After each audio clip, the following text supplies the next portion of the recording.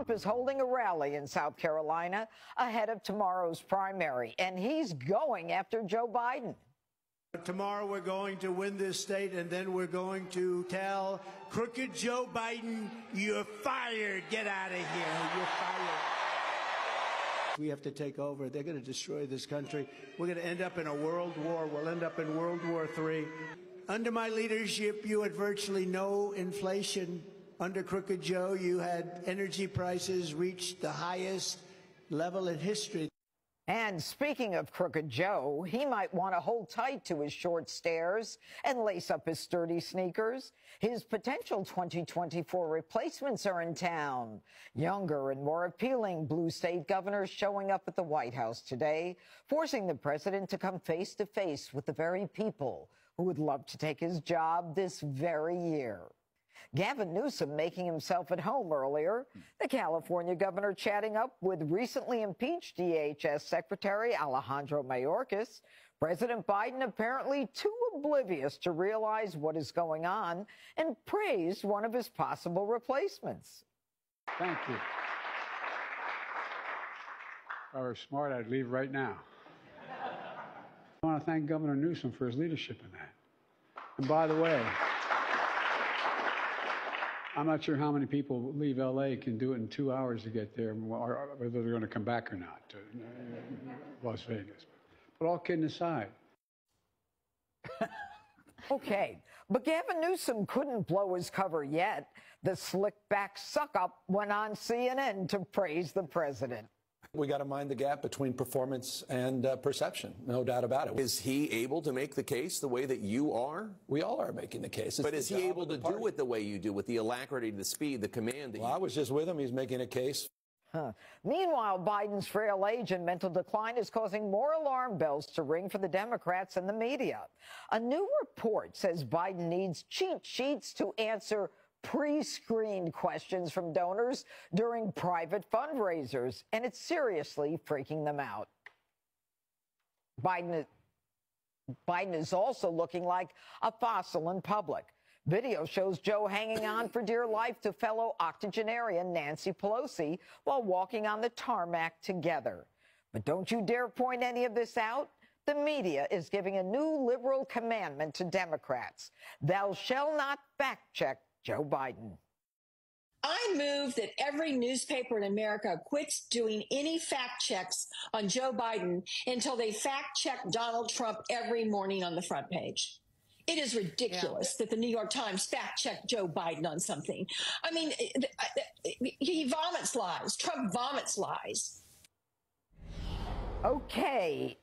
You know, the amazing part of this, Shannon, is the fact that if a Republican were to say that, that you know it, it's it's time. The New York Times has got to fact check everything that uh, uh, Donald Trump says. I mean, or that Joe Biden says. I mean, they would criticize us until the cows come home.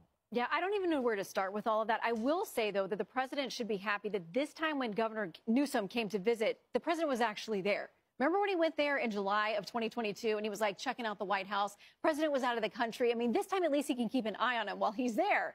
But this fact checking thing, okay, so Washington Post, not a conservative outlet, has given bottomless Pinocchios to President Biden. They have fact checked him on a number of things. He has said things like gas was more than $5 a gallon when he became president. It was less than half of that. He used to drive a semi truck. Don't even get us started on corn pop. I mean, there's a lot of stuff that's gone on with this president. He said you had to sign a non compete to work at McDonald's. And so I, we're just supposed to let everything go. I mean, some of these are pretty unbelievable things. So double standard. I mean, let's just fact check everybody and make it clean. America, the nightmare you're facing is just about over. Help is on the way. This is the most qualified man to be president of the United States. And let it be said that South Carolina created the biggest political comeback in American history. Thank you. So, I have a son. He's a very talented guy. And he works so hard, and we love him. And his wife is very good. She goes on, and Lara. And I want to thank Eric and Lara for doing such a fantastic job. And really amazing. They're amazing people. Uh, let's go down a little list of some of the people that are up here tonight because every one of them is a star in their own right. And uh, your lieutenant governor is going places. You do know that, right? Pamela Evette. And really going places. And Speaker of the House, Murrell Smith, who's uh, coming up in a couple. You know, some of these people are actually busy. He's running to get over here. But we want to thank you, Speaker of the House, fantastic person, doing a great job for the state. An Attorney General who's been in the news lately a lot, winning cases. Oh, I wish we had such a good Attorney General like that in New York. Oh. He's a great Attorney General. Alan Wilson, thank you, Alan. His father happens to be up here too. Remember his famous, you lied, remember? He's been, he's been loved ever since, hasn't he? Treasurer Curtis Loftis. Curtis, thank you very much. Wherever you may be, thank you. Thank you, Curtis. Mark Hammond, Secretary of State. Thank you, Mark. Ambassador, and this is a great ambassador, one of the best. Anytime we had a problem, I just called Ed McMullen, and he would solve the problem very quickly. Ed, thank you very much. We have a man who's done a really good job in the state. Your South Carolina GOP chair, Drew McKissick. Thank you. Thank you.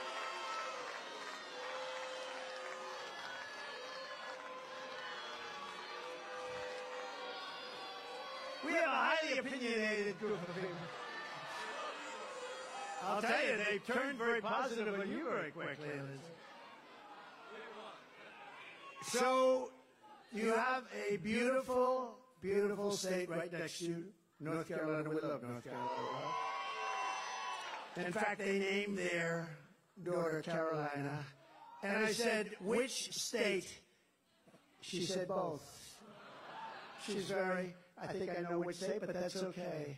But they, uh, they have the most beautiful daughter named Carolina, so we love, we love the, both of them. We love them both very much, and we won them both very easily. And one of the reasons we won North Carolina is a man named Michael Whatley, who looks like, who looks to me, we gave him our endorsement, and he looks to me like he's going to be going on to the National Republican Party as the boss. Michael Whatley. Where is Michael? Michael, thank you very much. And he's going to be working with Lara. And we may be putting Kellyanne in the group too. We like Kellyanne? We love Kellyanne. But uh, you're going to do a fantastic job, both of you. We appreciate it very much. What a job you've done in North Carolina. You know, that evening of 2020 with those votes coming in, we're leading in Pennsylvania, and all of a sudden, oh, something happened. It went boom. And then we're leading all over the place, Georgia, and then boom. And we're leading, but North Carolina, I said, when is North Carolina, where is that going to go? When are they going to drop lots of ballots into that one? And you know what he did? He just kept that thing, and we never had a problem. And I said, that's my kind of guy. He had hundreds of lawyers. I had, how many lawyers did you have?